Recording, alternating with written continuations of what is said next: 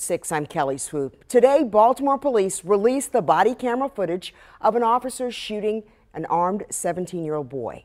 WMAR 2 News is Brittany Werner live outside police headquarters. You saw the video. Brittany, what happened?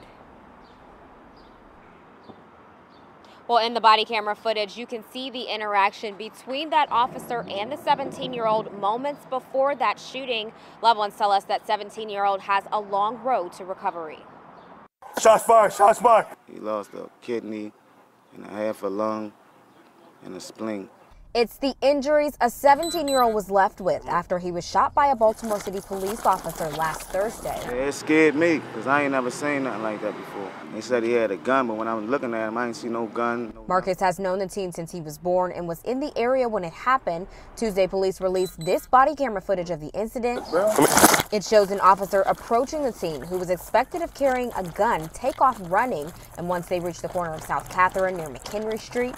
Stop! Stop! Stop! Put the gun down! Here you see in the circle is the individual carrying the firearm. Police say the teen pulled out a handgun with an extended magazine from his belt, and that's when the officer shot him. That is the weapon uh, that fell from the individual's hand.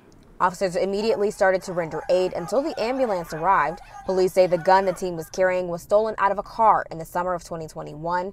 Here you can see the officer pick up the firearm for his safety. Back up! After people in the community showed their outrage following that shooting. The officer who fired his weapon is Detective Cedric Elleby. He's been with BPD since June of 2019, and some people in the community say he's no stranger to their neighborhood. He come around here from time to time just to harass people. And they are just upset this ended with a teenager being injured.